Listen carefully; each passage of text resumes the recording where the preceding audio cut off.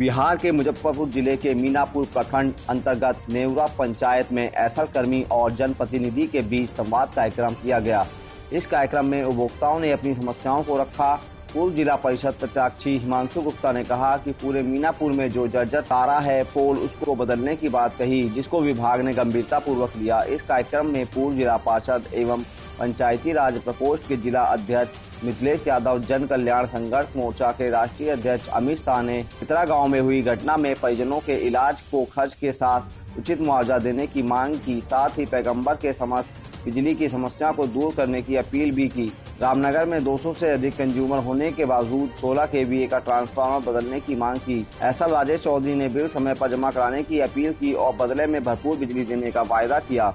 Rural head Ritesh निगम ने कहा, समय से बिल जमा कराने में जनप्रतिनिधि हमारा सहयोग करें और साथ ही सावधान भी किया कि लोग चोरी से बिजली जलाना बंद करें, नहीं तो कार्रवाई की जाएगी, ताकि निर्वाध बिजली सप्लाई कर सकें। इस कार्यक्रम में जनप्रतिनिधि उपस्थित हुए। जिला पार्षद बिना देवी प्रखंड अध्यक्ष पंकज किशोर, पप्पू छात्र राजद के जिला अध्यक्ष अमरेंद्र कुमार, पंचायत समिति सदस्य सदाव अहमद, उर्फ़ गुड्डू भैया, भाजपा युवा मोर्चा अध्यक्ष नागेंद्र पांडे, मोहम्मद अंसारी, संजय कुमार तथा राम बाबू, शाह सहित सैकड़ों कार्यकर्ता उपस्थित थे।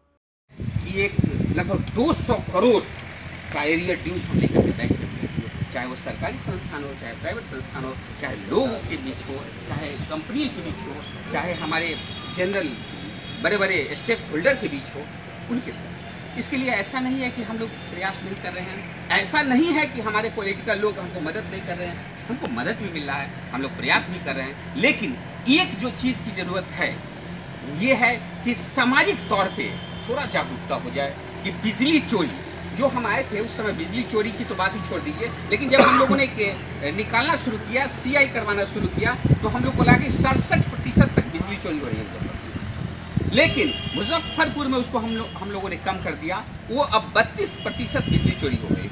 जबकि आपके मीनापुर में आज भी जब हम लोग सीआई करवाए थे तो हमको याद है कि पैंतालीस हज़ार कंज्यूमर बेस है और चौंतीस हज़ार ऐसे लोग हैं जो बिजली चोरी हैं।